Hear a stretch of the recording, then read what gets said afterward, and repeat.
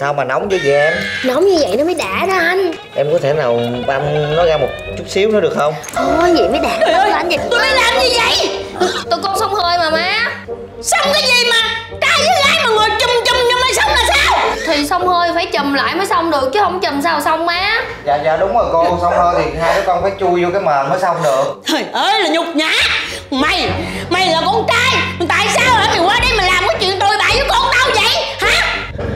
gì đâu con với chu chỉ xong bình thường thôi à cô. Bình thường? Bình thường của tụi mày hả? Chùm nhau như vậy á. Rồi rồi, rồi trong đó bốc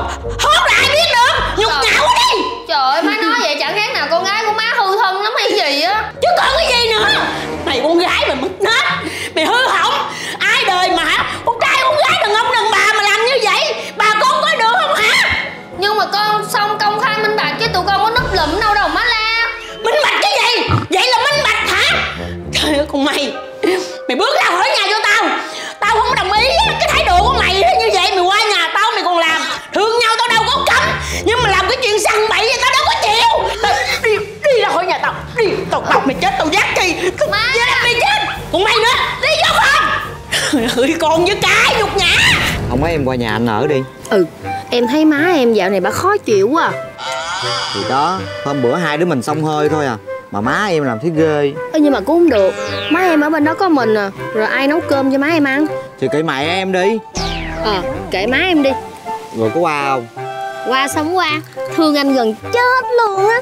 Thì tôi cũng thương em mà. Ừ anh. Ừ? em nói nghe cái này nè gì? Hôm bữa em test á hai giặt rồi. Cái gì? Em bị cô chết hả? Không á à. cái chuyện đó đó. Cái chuyện đó là chuyện gì? Hai giặt. Em bé đó. Em bé. Đâu có thai. Thai. Thiệt không? Thiệt. Không có xạo nghe. Em thề dốc chết luôn á. Anh nghe nè. Thấy không thấy không? Nó dậy nó đạp anh không? Có nó đạp anh nu đầu luôn nè xạo ghê á. Em bé nhỏ xíu như lòng đỏ trứng gà à. thì tại anh thương em mà. Mày Ông Hoàng Ông suy nghĩ sao vậy? Ông để con trai ông dụ dỗ con gái tôi qua đây vậy? Ờ, không có đâu má. Con tự qua chứ đâu có dụ dỗ con đâu. Mày nín đi. Còn bà nữa. Tao đang giờ cơn gì nước rồi qua đây kiếm chuyện làm gì? Chứ làm gì nữa? Con ông nó dụ con tôi đi. Nó bỏ nhà qua đây là mấy ngày trời. Ông coi được không bà nói chuyện với đàng hoàng nha con gái bà cũng lớn rồi nha. Tự nó quyết định của nó chứ nó 30 tuổi đầu rồi bà ơi bữa khư đủ khủng lắm mình treo đầu giờ cái gì? Thì con tôi thì kệ tôi Chưa cưới gả cưới sinh gì hết.